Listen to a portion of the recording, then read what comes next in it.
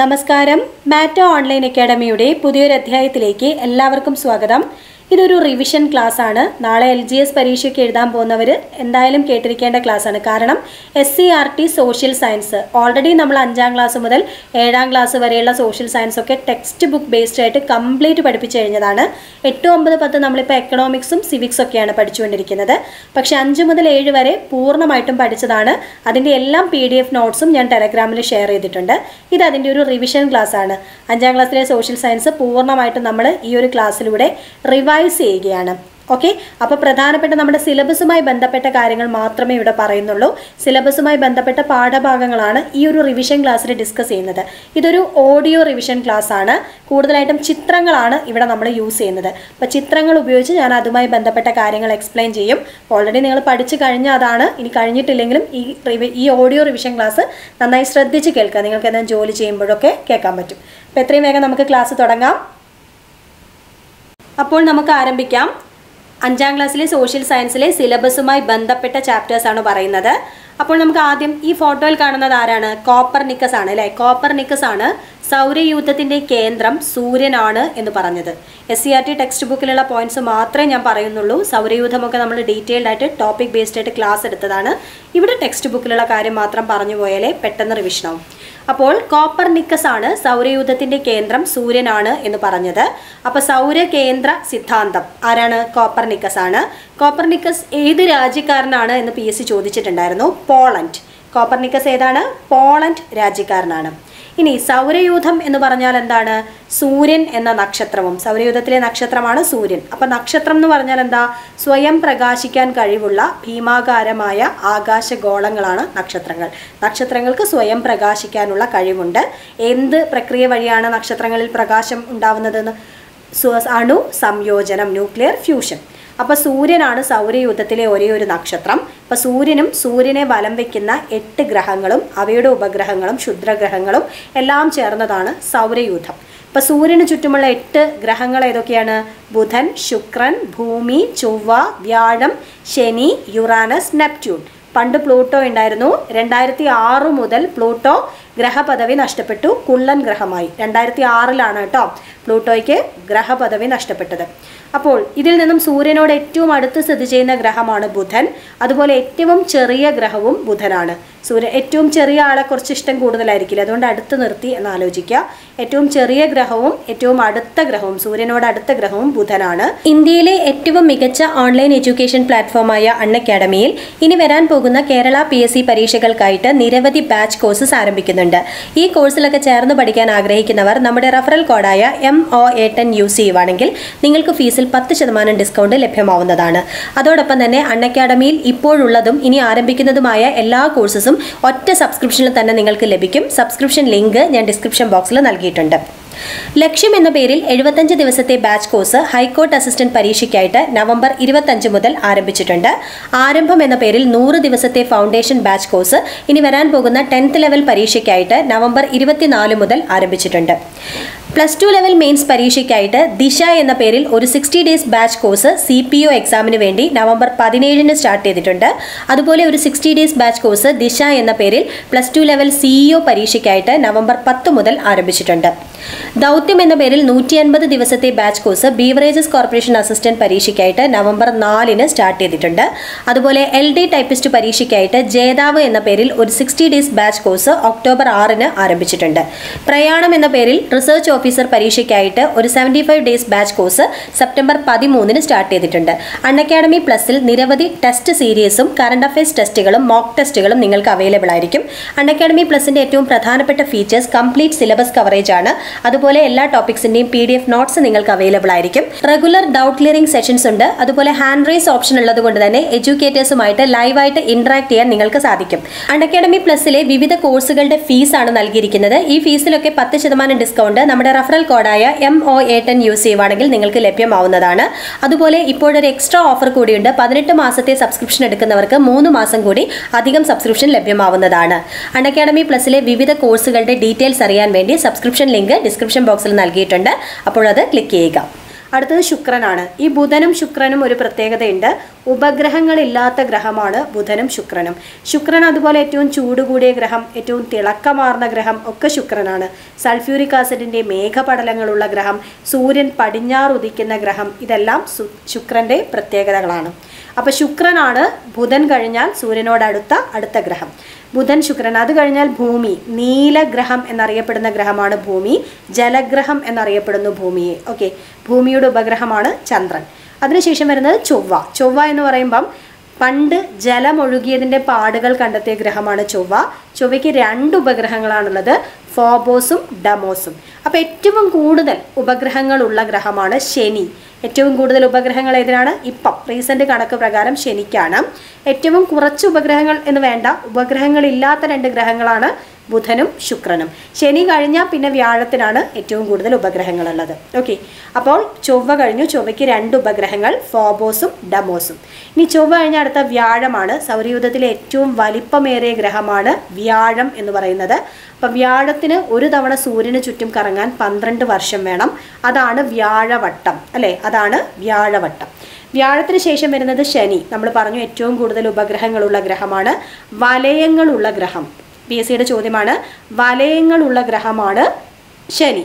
Okay അതിനുശേഷം വരുന്ന ഗ്രഹമാണ് യുറാനസ് ബുധൻ ശുക്രൻ ഭൂമി ചൊവ്വ വ്യാഴം ശനി യുറാനസ്. യുറാനസിന്റെ പ്രത്യേകത ശയനപ്രദക്ഷിണം നടത്തുന്ന അഥവാ ഉരുളുന്ന കിടന്നുരുളുന്ന ഗ്രഹം. ശയനപ്രദക്ഷിണം നടത്തുന്ന ഗ്രഹമാണ് യുറാനസ്. വാഹനങ്ങളുടെ ചക്രം കറങ്ങുന്ന പോലെയാണ് യുറാനസ് കറങ്ങാം. യുറാനസിന് ഒരു തവണ സൂര്യനെ വലം വയ്ക്കാൻ എൺപത്തിനാല് വർഷം വേണം. എത്ര വർഷം വേണം? എൺപത്തിനാല് വർഷം വേണം. യുറാനസിന് ശേഷം ഇപ്പൊ സൂര്യനിൽ നിന്നും ഏറ്റവും അകലെയുള്ള ഗ്രഹമാണ് നെപ്റ്റ്യൂൺ. നൂറ്റി അറുപത്തിനാല് വർഷമാണ് നെപ്റ്റ്യൂണിന് സൂര്യനെ വലം വെക്കാൻ വേണ്ടത്. അപ്പൊ എൺപത്തിനാല് വർഷം യുറാനസിനും നൂറ്റി അറുപത്തിനാല് വർഷം നെപ്റ്റ്യൂണിനും ആവശ്യമാണ്. പിന്നെ ഞാൻ പറഞ്ഞ പോലെ പ്ലൂട്ടോയ്ക്ക് രണ്ടായിരത്തി ആറിൽ ഗ്രഹപദവി നഷ്ടപ്പെട്ടു. അപ്പോൾ നമ്മൾ ആദ്യം പറഞ്ഞ ഒരു വ്യക്തിയുണ്ട് അല്ലേ? കോപ്പർനിക്കസ്. ഭൂമിയുടെ സൗരയൂഥത്തിന്റെ കേന്ദ്രം സൂര്യനാണെന്ന് പറഞ്ഞു. അടുത്ത് നമുക്ക് പഠിക്കാനുള്ള പ്രധാനപ്പെട്ട സയന്റിസ്റ്റാണ് ഗലീലിയോ ഗലീലി. ഇറ്റലിക്കാരനാണ്. അതും ഓർത്ത് വെക്കണം. ഗലീലിയോ ഏത് രാജ്യക്കാരനാണ്? ഇറ്റലി. അദ്ദേഹം സ്വയം നിർമ്മിച്ച ദൂരദർശിനിയിലൂടെ വാനനിരീക്ഷണത്തിന് തുടക്കമിട്ടു. സ്വയം നിർമ്മിച്ച ദൂരദർശിനിയിലൂടെ വാനനിരീക്ഷണത്തിന് തുടക്കമിട്ട ഒരു ശാസ്ത്രജ്ഞനാണ് ഗലീലിയോ ഇറ്റലിക്കാരനാണ്. ലാല ഒക്കെ ആലോചിക്കുക. ഗലീലിയോ ഇറ്റലിക്കാരൻ. അദ്ദേഹം വ്യാഴത്തിന്റെ പ്രധാനപ്പെട്ട നാല് ഉപഗ്രഹങ്ങൾ കണ്ടെത്തി. അവ അറിയപ്പെടുന്നത് ഗലീലിയൻ ഉപഗ്രഹങ്ങൾ എന്നാണ്. ഇപ്പം ഗലീലിയൻ ഉപഗ്രഹങ്ങൾ ഏത് ഗ്രഹത്തിന്റെയാണ്? വ്യാഴത്തിന്റെതാണ്. ആരാണ് കണ്ടെത്തിയത്? ഗലീലിയോ. ഇനി ഏതൊക്കെയാണ് ഗലീലിയൻ ഉപഗ്രഹങ്ങൾ? Io Callisto Europa Ganymede Io Callisto Europa ഗ്യാനോ Ganymede Io Callisto Europa Ganymede. ഇതാണ് ഗലീലിയോ കണ്ടെത്തിയ ആ ഉപഗ്രഹങ്ങൾ വ്യാഴത്തിന്റെ ആ ഉപഗ്രഹങ്ങൾ. ഓക്കെ ഇനി ഏറ്റവും അവസാനമായി കണ്ടെത്തിയ ഒരു വാൽനക്ഷത്രമുണ്ട് രണ്ടായിരത്തി പതിമൂന്നിൽ ഐസൺ. ഏറ്റവും അവസാനമായി കണ്ടെത്തിയ വാൽനക്ഷത്രം ഐസൺ ആണ്. അതുപോലെ ബഹിരാകാശത്ത് നിന്നും ഭൂമിയുടെ അന്തരീക്ഷത്തിലേക്ക് കടക്കുന്ന പല വലിപ്പമുള്ള പാറക്കഷ്ണങ്ങളെ പറയുന്ന പേരാണ് ഉൽക്കകൾ. ബഹിരാകാശത്ത് നിന്നും ഭൂമിയുടെ അന്തരീക്ഷത്തിലേക്ക് കടക്കുന്ന പല വലിപ്പമുള്ള പല വലിപ്പമുള്ള പാറക്കഷ്ണങ്ങൾ ഉൽക്കകൾ. ഇനി കത്തിത്തീരാതെ ഭൂമിയിലേക്ക് വീഴുന്ന ഉൽക്കകളുടെ അവശിഷ്ടങ്ങളാണ് ഉൽക്കാശിലകൾ. അപ്പോൾ ഉൽക്കകളുടെ അവശിഷ്ടങ്ങൾ ഉൽക്കാശിലകൾ. ബഹിരാകാശത്ത് നിന്നും ഭൂമിയുടെ അന്തരീക്ഷത്തിലേക്ക് കടക്കുന്ന പാറക്കഷ്ണങ്ങളാണ് ഉൽക്കകൾ. ഘർഷണം മൂലം ഈ പാറക്കഷ്ണങ്ങൾ കത്തുന്നു. ഇവ കത്തി തീരും. ചിലപ്പം കത്തി തീരാതെ ഭൂമിയിലേക്ക് വീഴും. അവയാണ് ഉൽക്കാശിലകൾ എന്ന് പറയുന്നത്. അപ്പോൾ പാറക്കഷ്ണങ്ങൾ ഉൽക്കയും ഭൂമിയിലേക്ക് വീഴുന്ന ഉൽക്കകളുടെ അവശിഷ്ടം ഉൽക്കാശിലകളുമാണ്. ഇനി ക്ഷുദ്രഗ്രഹങ്ങളുണ്ട് അല്ലേ? ആസ്റ്റീരിയോയിഡ്സ് അഥവാ ക്ഷുദ്രഗ്രഹങ്ങൾ ഏതെല്ലാം ഗ്രഹങ്ങളുടെ ഇടയിലാണ്? ഈ ചൊവ്വയുടെയും വ്യാഴത്തിന്റെയും ഇടയിൽ ആസ്റ്റീരിയോയിഡ് ബെൽറ്റ് എന്ന് പറയും അല്ലേ ഇവിടെ ഒരു ബെൽറ്റ് പോലത്തെ റീജിയൻ കാണുന്നുണ്ടല്ലോ അവിടെയാണ് ക്ഷുദ്രഗ്രഹങ്ങൾ ഉള്ളത്. ചൊവ്വയ്ക്കും വ്യാഴത്തിനും ഇടയിൽ ക്ഷുദ്രഗ്രഹങ്ങൾ ഓക്കെ? അടുത്തത് സൗരയൂഥം ഉൾപ്പെടുന്ന ഗാലക്സിയാണ് ക്ഷീരപഥം അഥവാ മിൽക്കി വേ അഥവാ ആകാശഗംഗ. സൗരയൂഥം ഉൾപ്പെടുന്ന ഗാലക്സി ആകാശഗംഗ. ഇനി നമുക്ക് അടുത്ത ടോപ്പിക്കിലേക്ക് പോവാം. അടുത്ത ചാപ്റ്റർ നമ്മുടെ വൻകരകളൊക്കെ ആയിട്ട് ബന്ധപ്പെട്ടതാണ്. അപ്പോൾ ഏഷ്യ വൻകരയുടെ പ്രത്യേകത എന്തൊക്കെയാണ്? ഏഷ്യ വൻകര ലോകത്തിലെ ഏറ്റവും വലിയ വൻകരയാണ് ഏഷ്യ. ഇന്ത്യൻ മഹാസമുദ്രത്തിന് വടക്കായിട്ടാണ് ഏഷ്യ സ്ഥിതി ചെയ്യുന്നത്. ലോകത്തിലെ ഏറ്റവും കൂടുതൽ ജനങ്ങളുള്ള വൻകര ജനസംഖ്യ ഏറ്റവും കൂടിയ വൻകരയാണ് ഏഷ്യ. ഏറ്റവും കൂടുതൽ നെല്ല് ഉൽപ്പാദിപ്പിക്കുന്ന വൻകരയും ഏഷ്യയാണ്. ഏറ്റവും വലിയ വൻകര ഏറ്റവും വലിയ വൻകരയാകുമ്പോൾ ഏറ്റവും കൂടുതൽ ജനസംഖ്യയുള്ള വൻകര ഏറ്റവും കൂടുതൽ നെല്ല് ഉൽപ്പാദിപ്പിക്കുന്ന വൻകര ഇന്ത്യൻ മഹാസമുദ്രത്തിന് വടക്ക് സ്ഥിതി ചെയ്യുന്ന വൻകരയാണ് ഏഷ്യ. ഇനി ലോകത്തിലെ ഏറ്റവും ഉയരം കൂടിയ കൊടുമുടി ഏതാണ്? എവറസ്റ്റ് ഏതാ? എവറസ്റ്റ് ആണ് അല്ലേ? ലോകത്തിലെ ഏറ്റവും വലിയ പർവതനിര ഹിമാലയമാണ്. ഹിമാലയത്തിലെ നേപ്പാളിൽ സ്ഥിതി ചെയ്യുന്ന എവറസ്റ്റ് എവിടെയാണ്? നേപ്പാളിലാണ് സ്ഥിതി ചെയ്യുന്നത്. ഹിമാലയത്തിലെ നേപ്പാളിൽ സ്ഥിതി ചെയ്യുന്ന എവറസ്റ്റ് ആണ് ഏറ്റവും ഉയരം കൂടിയ കൊടുമുടി. ഹിമാലയമാണ് ലോകത്തിലെ ഏറ്റവും വലിയ പർവതനിര. ഹിമാലയം എന്ന വാക്കിന്റെ അർത്ഥം തന്നെ മഞ്ഞിന്റെ വാസസ്ഥലം. എന്താണ് അർത്ഥം? മഞ്ഞിന്റെ വാസസ്ഥലം എന്നാണ് ഹിമാലയം എന്ന വാക്കിന്റെ അർത്ഥം. ഇന്ത്യയിലെ ഏറ്റവും വലിയ പീഠഭൂമി ഡക്കാൻ പീഠഭൂമി. ഏറ്റവും വലിയ പീഠഭൂമി ഡക്കാൻ പീഠഭൂമി. ഇനി ഒന്നാം സ്ഥാനം വലിപ്പത്തിൽ ലോകത്തിലെ വൻകരകളിൽ ഏഷ്യയാണ്. രണ്ടാം സ്ഥാനം ആഫ്രിക്കയാണ്. അപ്പോൾ ഏഷ്യ സ്ഥിതി ചെയ്യുന്നത് ഇന്ത്യൻ മഹാസമുദ്രത്തിന് വടക്കാണ്. ഇന്ത്യൻ മഹാസമുദ്രത്തിനും അറ്റ്ലാന്റിക് സമുദ്രത്തിനും ഇടയിലായിട്ടാണ് ആഫ്രിക്ക സ്ഥിതി ചെയ്യുന്നത്. ലോകത്തിലെ രണ്ടാമത്തെ വലിയ വൻകര ഇന്ത്യൻ മഹാസമുദ്രത്തിനും അറ്റ്ലാന്റിക്കിനും ഇടയിൽ ആഫ്രിക്ക സ്ഥിതി ചെയ്യുന്നു. ലോകത്തിലെ ഏറ്റവും വലിയ മരുഭൂമിയായ സഹാറ മരുഭൂമി ആഫ്രിക്കയിലാണ്. അതുപോലെ ലോകത്തിലെ ഏറ്റവും നീളം കൂടിയ നദിയായ നൈൽ നദിയും ആഫ്രിക്കയിലാണ്. നൈൽ നദി ലോകത്തിലെ ഏറ്റവും നീളം കൂടിയ നദിയായ നൈൽ നദി ലോകത്തിലെ ഏറ്റവും വലിയ മരുഭൂമിയായ സഹാറ മരുഭൂമിയും ആഫ്രിക്കയിലാണ് സ്ഥിതി ചെയ്യുന്നത്. അപ്പം ഇത് ഹിമാലയമാണ്.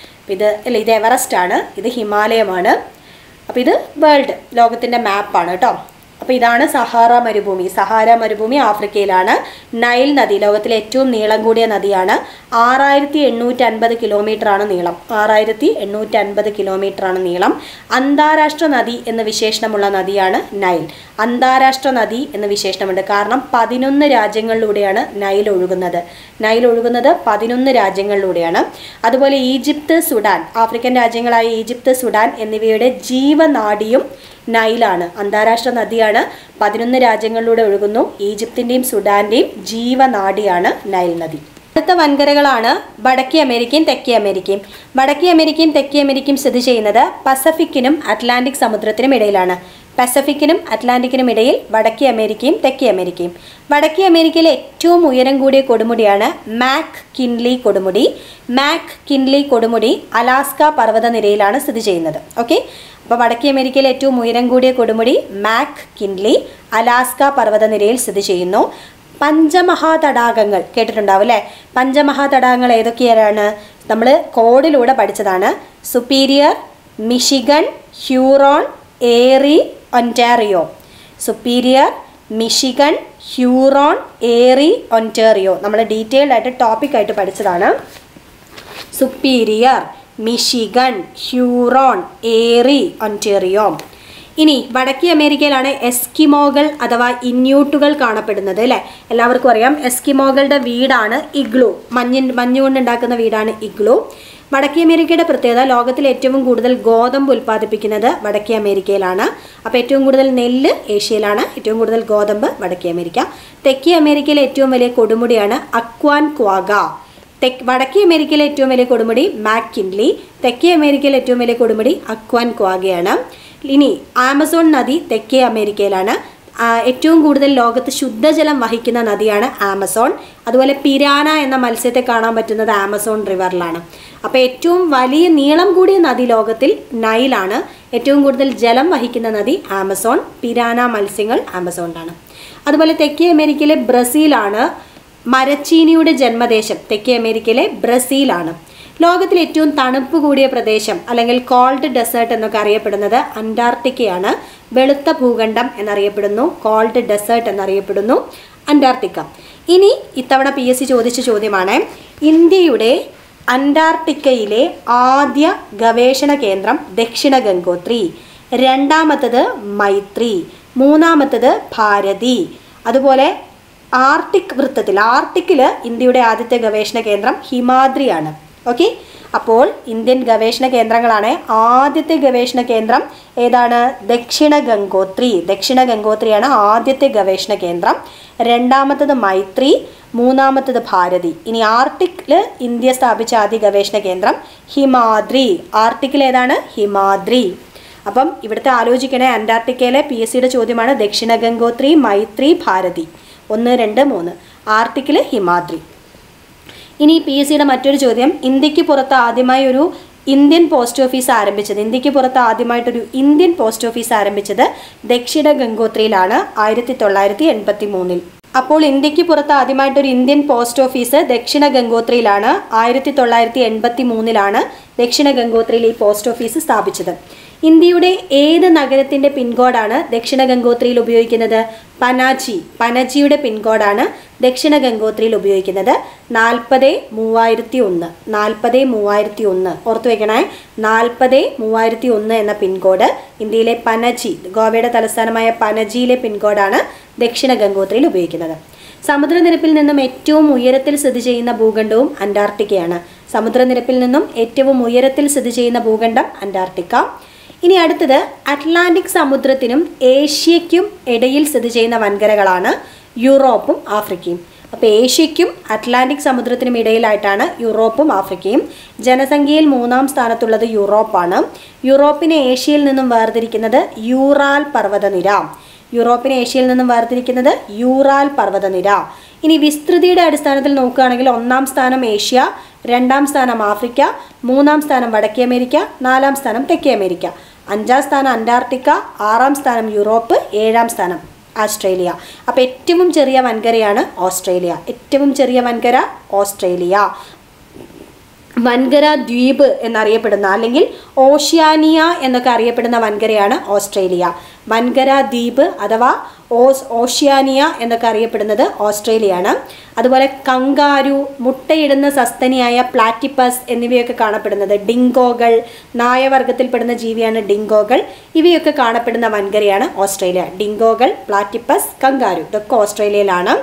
അപ്പോൾ ഓസ്ട്രേലിയ എന്ന് പറയുന്നത് എന്താണ്? ഏറ്റവും ചെറിയ വൻകരയാണ്. ഇനി അടുത്തത് യൂറോപ്പിനെ ഏഷ്യയിൽ നിന്നും വേർതിരിക്കുന്നത് യൂറാൽ പർവതനിരയാണ്. നിരയാണ് സൂര്യന്റെ നാട് ഏതാണ്? നോർവേ ആണ് അല്ലേ? പാതിരാസൂര്യന്റെ നാട്ടിൽ എന്ന യാത്രാ വിവരണം രചിച്ചത് എസ് കെ പൊറ്റക്കാടാണ്.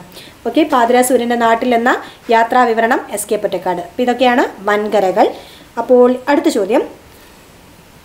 ലോകത്തിലെ ഏറ്റവും വലിയ ദ്വീപ് ഗ്രീൻലാൻഡ് ആണ് ലോകത്തിലെ ഏറ്റവും വലിയ ദ്വീപ് ഗ്രീൻലാൻഡ് ആണ് ഏറ്റവും വലിയ സമുദ്രം പസഫിക് സമുദ്രം അഥവാ ശാന്ത്ര സമുദ്രമാണ്. ഏറ്റവും കൂടുതൽ ദ്വീപുകൾ കാണപ്പെടുന്ന സമുദ്രവും പസഫിക് സമുദ്രമാണ്. ഏറ്റവും കൂടുതൽ ദ്വീപുകൾ പസഫിക് സമുദ്രം. ലോകത്തിലെ ഏറ്റവും ആഴം കൂടിയ ഭാഗമാണ് പസഫിക് സമുദ്രത്തിലെ ചലഞ്ചർ ഗർത്തം. ഏതാണ്? ചലഞ്ചർ ഗർത്തം. ഏറ്റവും കൂടുതൽ മത്സ്യബന്ധനം നടക്കുന്ന ഒരു സമുദ്രവും ഏതാണ്? പസഫിക് സമുദ്രമാണ്. പസഫിക് വിസ്തൃതി പസഫിക് സമുദ്രത്തിന്റെ വിസ്തൃതി എന്ന് പറയുന്നത് ലോകത്തിന്റെ ആകെ വിസ്തൃതിയുടെ മൂന്നിലൊന്ന് ഭാഗമാണ്. അപ്പോൾ ലോകത്തിന്റെ ആകെ വിസ്തൃതിയുടെ മൂന്നിലൊന്ന് ഭാഗം പസഫിക് സമുദ്രമാണ്.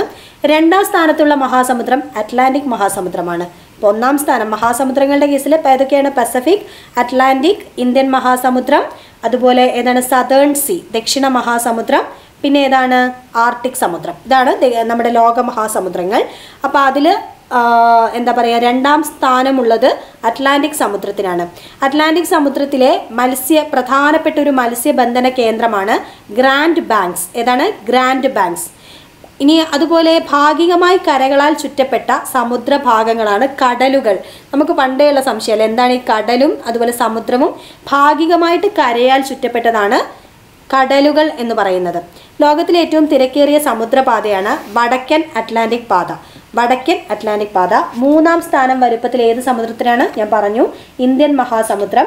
ഈ ലോകത്ത് ഒരു രാജ്യത്തിന്റെ പേരിൽ അറിയപ്പെടുന്ന ഏക മഹാസമുദ്രമാണ് ഇന്ത്യൻ മഹാസമുദ്രം. അപ്പോൾ ഇന്ത്യൻ മഹാസമുദ്രം അറബിക്കടലും ബംഗാൾ ഉൾക്കടലും പേർഷ്യൻ ഉൾക്കടലും ഒക്കെ ഇന്ത്യൻ മഹാസമുദ്രത്തിന്റെ ഭാഗങ്ങളാണ്. അതുപോലെ പവിഴപ്പുറ്റുകൾ കാണപ്പെടുന്നത് ഇന്ത്യൻ മഹാസമുദ്രത്തിന്റെ ഒരു പ്രത്യേകതയാണ്. ഉഷ്ണമേഖലാ സമുദ്രങ്ങളിലാണ് പൊതുവെ കോറൽ പൊളിപ്പുകൾ എന്ന കാണപ്പെടുന്ന കോറൽ പൊളിപ്പുകൾ എന്ന സമുദ്രജീവിയുടെ മൃതാവശിഷ്ടങ്ങൾ അറിഞ്ഞുകൂടിയാണ് പവിഴപ്പുറ്റുകൾ രൂപം കൊള്ളുന്നത്. അറബിക്കടലിലെ ലക്ഷദ്വീപ് സമൂഹത്തിലധികവും പവിഴ ദ്വീപുകളാണ് അപ്പോൾ പവിഴപ്പുറ്റുകൾ സാധാരണയായി കാണപ്പെടുന്ന ഒരു സമുദ്രമാണ് ഇന്ത്യൻ മഹാസമുദ്രം. ഇനി ഭൂമിയുടെ ഉത്തര ധ്രുവത്തെ ചുറ്റിക്കിടക്കുന്ന സമുദ്രമാണ് ആർട്ടിക് സമുദ്രം. ആർട്ടിക് സമുദ്രം ഉത്തര ധ്രുവത്തെ ചുറ്റിക്കിടക്കുന്നു. ലോകം സമുദ്രവർഷം എന്നറിയപ്പെടുന്നത് ആയിരത്തി തൊള്ളായിരത്തി തൊണ്ണൂറ്റി എട്ടാണ് ലോക സമുദ്രവർഷം ആയിരത്തി തൊള്ളായിരത്തി തൊണ്ണൂറ്റി എട്ട് ലോക സമുദ്ര ദിനം ജൂൺ എട്ടാണ്. അപ്പോൾ ജൂൺ എട്ട് ആയിരത്തി തൊള്ളായിരത്തി തൊണ്ണൂറ്റെട്ട് ഇത് രണ്ടും ഓർത്ത് വയ്ക്കുക. അടുത്തതൊരു കൊട്ടേഷനാണ് നമുക്ക് എല്ലാവരുടെയും ആവശ്യങ്ങൾ തൃപ്തിപ്പെടുത്താനുള്ള വിഭവങ്ങളുണ്ട്. എന്നാൽ ഒരാളുടെ പോലും അത്യാഗ്രഹത്തെ തൃപ്തിപ്പെടുത്താനില്ല. ആരുടെ വാക്കുകളാണ്? ഗാന്ധിജി. നമ്മുടെയൊക്കെ ആവശ്യങ്ങളെ തൃപ്തിപ്പെടുത്താനുള്ള വിഭവങ്ങൾ ഈ ലോകത്തുണ്ട്. പക്ഷേ ഒരാളുടെ പോലും അത്യാഗ്രഹത്തെ തൃപ്തിപ്പെടുത്താനുള്ള വിഭവങ്ങൾ ഈ ലോകത്തില്ല. ജനാധിപത്യ ഭരണം ജനങ്ങളുടെ ആഗ്രഹങ്ങൾക്ക് അനുസൃതമായിരിക്കണം എന്ന് പറഞ്ഞതും ഗാന്ധിജിയാണ്. അപ്പോൾ വിഭവങ്ങളുടെ കാര്യം പറഞ്ഞതും ജനാധിപത്യ ഭരണം ജനങ്ങളുടെ ആഗ്രഹങ്ങൾക്ക് അനുസൃതമായിരിക്കണം എന്ന് പറഞ്ഞതും ആരാണ്? ഗാന്ധിജിയാണ്. ജനാധിപത്യം എന്നാൽ ജനങ്ങൾക്ക് വേണ്ടി ജനങ്ങളാൽ നടത്തുന്ന ജനങ്ങളുടെ ഭരണമാണെന്ന് പറഞ്ഞത് എല്ലാവർക്കും അറിയാം. Abraham Lincoln. ജനങ്ങൾക്ക് വേണ്ടി ജനങ്ങൾ നടത്തുന്ന ജനങ്ങളുടെ ഭരണമാണ് ജനാധിപത്യം എബ്രഹാം ലിങ്കനാണ് പറഞ്ഞത്. അതുപോലെ ആഗോള ആദരവ് പിടിച്ചു പറ്റുന്ന ഏക ഭരണ സംവിധാനമാണ് ജനാധിപത്യം എന്ന് പറഞ്ഞത് അമർത്യസൻ. ആഗോള ആദരവ് പിടിച്ചു പറ്റുന്ന ഏക ഭരണ സംവിധാനമാണ് ജനാധിപത്യം എന്ന് പറഞ്ഞത് ആരാണ്? ആരാണ് പറഞ്ഞത്? അമർത്യസൻ. ഓക്കെ. അപ്പൊ അടുത്തത് ജനാധിപത്യം എന്ന അർത്ഥം വരുന്ന ഡെമോക്രസി എന്ന പദം. ഡെമോക്രാറ്റിയ എന്ന ഗ്രീക്ക് പദത്തിൽ നിന്നാണ് ഉണ്ടായിരിക്കുന്നത്. ഡെമോക്രാറ്റിയ എന്ന ഗ്രീക്ക് പദത്തിൽ നിന്നാണ് ഡെമോക്രസി ഉണ്ടായിരിക്കുന്നത്. ജനം എന്ന അർത്ഥമുള്ള ഡെമോസ് അതുപോലെ അധികാരം എന്ന അർത്ഥമുള്ള ക്രാറ്റോസ് എന്നീ ഗ്രീക്ക് പദങ്ങൾ ചേർന്നാണ് ഡെമോക്രാറ്റിയ ഉണ്ടായത്. ജനങ്ങൾ എന്ന അർത്ഥമുള്ള ഡെമോസ് അധികാരം എന്നർത്ഥമുള്ള ക്രാറ്റോസ്. ഇത് രണ്ടും ചേർന്നിട്ടാണ് ഡെമോക്രാറ്റിയ ഉണ്ടായത്. ആ ഡെമോക്രാറ്റിയ എന്ന ഗ്രീക്ക് വേർഡിൽ നിന്നാണ് ഡെമോക്രസി എന്ന വേർഡ് ഉണ്ടായിരിക്കുന്നത്. ഇനി എന്താണ് നിയമവാഴ്ച എന്ന് പറഞ്ഞാൽ? നിയമത്തിന് മുന്നിൽ എല്ലാവരും തുല്യരാണ്. നിയമങ്ങൾ അനുസരിക്കാൻ എല്ലാവർക്കും ബാധ്യസ്ഥതയുണ്ട് ബാധ്യതയുണ്ട്. ആരും നിയമത്തിൽ നിന്ന് അതീതരല്ല. ആരും നിയമത്തിന് അതീതരല്ല. നിയമമാണല്ല. നിയമത്തിന് മുന്നിൽ എല്ലാവരും സമന്മാരാണ്. എല്ലാവർക്കും നിയമം ഒരുപോലെയാണ് എന്നതാണ് നിയമവാഴ്ച. ഓക്കെ? നിയമവാഴ്ച.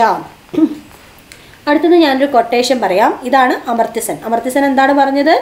ലോകത്ത് ആഗോള ആദരവ് പിടിച്ചു പറ്റുന്ന ഏക ഭരണ സംവിധാനമാണ് ജനാധിപത്യം എന്ന് പറഞ്ഞത് അമർത്യസൻ ആണ്. ഓക്കെ അടുത്തത് എസ് കെ പൊറ്റക്കാടിന്റെ ചെറിയ വരികളാണ്. കേരളമേ നിന്റെ ഓമനപ്പേർ കേൾക്കെ കോൾമയർ കൊള്ളുന്നിതെന്നുള്ള എന്നും കേരളമേ നിന്റെ ഓമനപ്പേർ കേൾക്കെ കോൾമയർ കൊള്ളുന്നതെന്നുള്ളമെന്നും എന്ന് പറഞ്ഞത് ആരാണ് എസ് കെ പൊറ്റക്കാടാണ്. പാതിരാസൂര്യന്റെ നാട്ടിൽ ആരാണ് രചിച്ചത്? S K Pottekkatt. അടുത്തത് ഇത്തവണത്തെ എൽ ഡി സി പരീക്ഷയുടെ ചോദ്യമാണ്. നമ്മുടെ മലനാട് എന്ന് പറയുന്ന ഭൂപ്രദേശം കേരളത്തിന്റെ ഭൂപ്രദേശമാണ് അല്ലേ? മലനാട് ഇടനാട് തീരപ്രദേശം. സമുദ്രനിരപ്പിൽ നിന്നും എഴുപത്തഞ്ച് മീറ്റർ വരെ ഉയരമുള്ള പ്രദേശമാണ് മലനാട്. സമുദ്രനിരപ്പിൽ നിന്നും എഴുപത്തഞ്ച് മീറ്റർ വരെ ഉയരമുള്ള പ്രദേശം മലനാട്. തെക്ക് തമിഴ്നാട് മുതൽ വടക്ക് ഗുജറാത്ത് വരെ വ്യാപിച്ചു കിടക്കുന്ന മലനിര ഏതാണ്? പശ്ചിമഘട്ടമാണ്. പശ്ചിമഘട്ടത്തിന്റെ മറ്റു പേരുകൾ സഹ്യാദ്രി. മഹാരാഷ്ട്രയിൽ സഹ്യാദ്രി എന്നറിയപ്പെടുന്നു കേരളത്തിൽ സഹ്യപർവതം എന്നറിയപ്പെടുന്നു. അപ്പം തെക്ക് സഹ്യ പശ്ചിമഘട്ടത്തിന്റെ തെക്ക് എവിടെയാണ്? നമ്മുടെ തമിഴ്നാട് മുതൽ വടക്ക് ഗുജറാത്ത് വരെ വ്യാപിച്ചു കിടക്കുന്ന മലനിരയാണ് പശ്ചിമഘട്ടം. പശ്ചിമഘട്ടത്തിന്റെ പേരുകൾ സഹ്യാദ്രി അഥവാ സഹ്യപർവതം. സൈലന്റ് വാലി ഏതാണ് പാലക്കാട് ജില്ലയിലെ മണ്ണാർക്കാട് താലൂക്കിലാണ് സൈലന്റ് വാലി സ്ഥിതി ചെയ്യുന്നത്? കേരളത്തിൽ സിംഹവാലൻ കുരങ്ങുകൾ അല്ലെ വംശനാശ ഭീഷണി നേരിടുന്ന സിംഹവാലൻ കുരങ്ങുകൾ കാണപ്പെടുന്നത് സൈലന്റ് വാലിയിലാണ്. അപ്പൊ നമ്മൾ പറഞ്ഞു അപ്പോൾ സമുദ്രനിരപ്പിൽ നിന്നും എഴുപത്തഞ്ച് മീറ്ററിൽ കൂടുതൽ ഉയരമുള്ള പ്രദേശമാണ് മലനാട് എന്ന് പറയുന്നത്. അപ്പോൾ എഴുപത്തഞ്ച് മീറ്ററിൽ ഏഴ് പോയിന്റ് അഞ്ച് മീറ്റർ മുതൽ എഴുപത്തഞ്ച് മീറ്റർ വരെയുള്ള പ്രദേശങ്ങൾ ഇടനാട് എന്നാണ് അറിയപ്പെടുന്നത്. ഏഴ് പോയിന്റ് അഞ്ച് മീറ്ററിൽ കുറവാണെങ്കിലോ സമുദ്രനിരപ്പിൽ നിന്നും അത്തരം പ്രദേശങ്ങളാണ് തീരപ്രദേശങ്ങൾ എന്ന് പറയുന്നത്. ഏഴ് പോയിന്റ് അഞ്ച് മീറ്ററിൽ കുറവുള്ള ഭാഗം തീരപ്രദേശങ്ങൾ എന്നറിയപ്പെടുന്നു. ഇനി കേരളത്തിൽ കൂടുതലായിട്ടും ലഭിക്കുന്ന മഴ ലഭിക്കുന്ന കാലം തെക്കു പടിഞ്ഞാറൻ മൺസൂൺ കാലമാണ്. കൂടുതലായിട്ട് നമുക്ക് മഴ ലഭിക്കുന്നത് തെക്കു പടിഞ്ഞാറൻ മൺസൂണിലാണ് ഇപ്പോൾ അതൊക്കെ മാറിയിട്ടോ? ന്യൂനമർദ്ദമൊക്കെയായി. അപ്പോൾ ഇടവപ്പാതി കാലവർഷം എന്നൊക്കെ അറിയപ്പെടുന്നത് തെക്കു പടിഞ്ഞാറൻ മൺസൂണാണ്. ജൂൺ മുതൽ സെപ്റ്റംബർ വരെയാണ് തെക്കു പടിഞ്ഞാറൻ മൺസൂൺ ഇടവപ്പാതി കാലവർഷം എന്നൊക്കെ അറിയപ്പെടുന്നു. അടുത്തത് വടക്ക് കിഴക്കൻ മൺസൂണാണ് തുലാവർഷം എന്ന് നമ്മൾ പറയൂലേ വൈകുന്നേരങ്ങളിൽ ഇടിയോട് കൂടിയ മഴയാണ് തുലാവർഷത്തിന്റെ പ്രത്യേകത. അപ്പോൾ തുലാവർഷം ഒക്ടോബർ നവംബർ മാസങ്ങൾ മൺസൂണിന്റെ പിൻവാങ്ങൽ കാലം എന്നൊക്കെ പറയൂലേ അപ്പോൾ വടക്കു കിഴക്കൻ മൺസൂണാണ് തുലാവർഷം. ഇനി കേരളത്തിൽ എത്ര നദികളുണ്ട്? നാൽപ്പത്തിനാല് നദികളാണ്. പശ്ചിമഘട്ടത്തിൽ ഉത്ഭവിച്ച് കേരളത്തിലൂടെ ഒഴുകുന്ന നാൽപ്പത്തിനാല് നദികളാണ് കേരളത്തിലുള്ളത് അതിൽ കേരളത്തിൽ നാൽപ്പത്തൊന്ന് നദികൾ പടിഞ്ഞാറോട്ടാണ് ഒഴുകുന്നത്. മൂന്ന് നദികൾ എങ്ങോട്ടേക്കാണ്? കിഴക്കോട്ട്. അപ്പോൾ കേരളത്തിൽ കിഴക്കോട്ട് ഒഴുകുന്നത് കബനി ഭവാനി പാമ്പാർ. കബനി ഭവാനി പാമ്പാർ. ഈ മൂന്ന് നദികളാണ് കേരളത്തിൽ കിഴക്കോട്ട് ഒഴുകുന്ന നദികൾ. ഇനി കേരളത്തിൽ ഏറ്റവും നീളം കൂടിയ നദിയാണ് പെരിയാർ. ഏറ്റവും നീളം കൂടിയ നദി പെരിയാറാണ്. മറ്റൊരു പ്രധാന ചോദ്യം. കാൽ നൂറ്റാണ്ട് മുമ്പ് വറ്റി വരണ്ടു പോയി. ഇപ്പോൾ പുനർജനിക്കുന്ന അട്ടപ്പാടിയിൽ ഒരു പുഴയാണ് കൊടുങ്ങരപ്പള്ളം പുഴ ഏതാണ്? കൊടുങ്ങരപ്പള്ളം പുഴ ഉത്ഭവിക്കുന്നത് തമിഴ്നാട്ടിലെ പെരുമാൾ മുടിയിൽ നിന്നാണ്. അപ്പോൾ ഏകദേശം ഒരു ഇരുപത്തഞ്ച് കൊല്ലം മുമ്പ് വറ്റി വരണ്ടിട്ട് ഇപ്പോൾ പുനർജനിക്കുന്ന പുഴയാണ് കൊടുങ്ങരപ്പള്ളം പുഴ അട്ടപ്പാടിയിലാണ് ഈ പുഴയുള്ളത്. പെരുമാൾ മുടി തമിഴ്നാട്ടിലെ പെരുമാൾ മുടിയിൽ നിന്നാണ് ഉത്ഭവിക്കുന്നത്. കൊടുങ്ങര പള്ളം പുഴ പതിക്കുന്നത് ഭവാനിപ്പുഴയിലാണ് കേട്ടോ പതിക്കുന്നത് ഭവാനിപ്പുഴ ഉത്ഭവിക്കുന്നത് പെരുമാൾ മുടി ഇനി കടലിനോട് ചേർന്ന് കാണപ്പെടുന്ന ജലാശയങ്ങളെ നമ്മൾ കായലുകൾ എന്ന് പറയുന്നു. കരകയാൽ ചുറ്റപ്പെട്ട വലിയ ജലാശയങ്ങളാണ് തടാകം. അപ്പം തടാകവും കായലുമായിട്ടുള്ള ഒരു ഡിഫറൻസ് പലർക്കും അറിയണ്ടാവില്ല. കായൽ സമുദ്രത്തോട് കടലിനോട് ചേർന്ന് കിടക്കും. തടാകം എന്ന് പറഞ്ഞാൽ കരയാൽ ചുറ്റപ്പെട്ടതാണ്. ഓക്കെ ഇനി കേരളത്തിലെ ഏറ്റവും വലിയ കായൽ വേമ്പനാട്ട് കായലാണ്. ആലപ്പുഴ കോട്ടയം എറണാകുളം ഈ മൂന്ന് ജില്ലകളിലായിട്ട് വേമ്പനാട്ട് കായൽ വ്യാപിച്ചു കിടക്കുന്നു. കേരളത്തിലെ ഏറ്റവും വലിയ കായൽ വേമ്പനാട്ട് കായൽ ആലപ്പുഴ കോട്ടയം എറണാകുളം ജില്ലകളിലായിട്ട് വ്യാപിച്ചു കിടക്കുന്നു. കേരളത്തിലെ ഏറ്റവും വലിയ ശുദ്ധജല തടാകം ശാസ്താംകോട്ടയാണ്. കൊല്ലം ജില്ലയിലെ ശാസ്താംകോട്ട. കേരളത്തിൽ വിളവെടുപ്പുമായി ബന്ധപ്പെട്ട ഒരു ഉത്സവമാണ് ഓണം. പി എസ് ചോദിക്കും. വിളവെടുപ്പ് ആയിട്ട് ബന്ധപ്പെട്ടത് ഓണം വിളവിറക്ക് വിളയിറക്കുമായി ബന്ധപ്പെട്ടത് വിഷു. അപ്പം വിള ഇറക്ക് ഇറക്കുന്നത് നല്ല വെടിക്കെട്ടോടൊക്കെ കൂടിയല്ലേ? അപ്പം ഇറക്കുമായി ബന്ധപ്പെട്ടത് വിഷു വിളവെടുപ്പ് ഓണം. ഇന്ത്യയിൽ ഏറ്റവും കൂടുതൽ മഴ ലഭിക്കുന്ന പ്രദേശമാണ് മേഘാലയയിലെ ചിറാപുഞ്ചി അല്ലേ മൗസൻ രാമൻ ചിലപ്പോൾ പറയാറുണ്ട് ഏറ്റവും കൂടുതൽ മഴ ലഭിക്കുന്നത് ചിറാപുഞ്ചി മേഘാലയ സംസ്ഥാനത്തിലാണ്. ഇന്ത്യയിൽ ശൈത്യകാലമോ ഡിസംബർ മുതൽ ഫെബ്രുവരി വരെയാണ് ശൈത്യകാലം. ഉഷ്ണകാലം മാർച്ച് മുതൽ മെയ് വരെയാണ് ഇന്ത്യയിലെ ഉഷ്ണകാലം. അപ്പോൾ ഇത്രയുമാണ് അഞ്ചാം ക്ലാസ്സിലെ സോഷ്യൽ സയൻസിലുള്ളത് അപ്പോൾ നിങ്ങൾക്കിത് ക്ലിയർ ആയിട്ടുണ്ടാവുമെന്ന് വിചാരിക്കുന്നു. അഞ്ചാം ക്ലാസ്സിലെ സോഷ്യൽ സയൻസ് എല്ലാവരും നല്ല പക്കയായിട്ട് മനസ്സിലാക്കിയിട്ടുണ്ടായിരിക്കുന്നു വിചാരിക്കുന്നു. അപ്പം ആറാം ക്ലാസ്സിലെ സോഷ്യൽ സയൻസ് ഇതുപോലെ കംപ്ലീറ്റ് റിവിഷൻ വീഡിയോ ഞാൻ ഉടനെ തന്നെ അപ്ലോഡ് ചെയ്യും. അടുത്ത ക്ലാസ്സിൽ കാണാം. അതുവരെ എല്ലാവർക്കും bye all the best and thank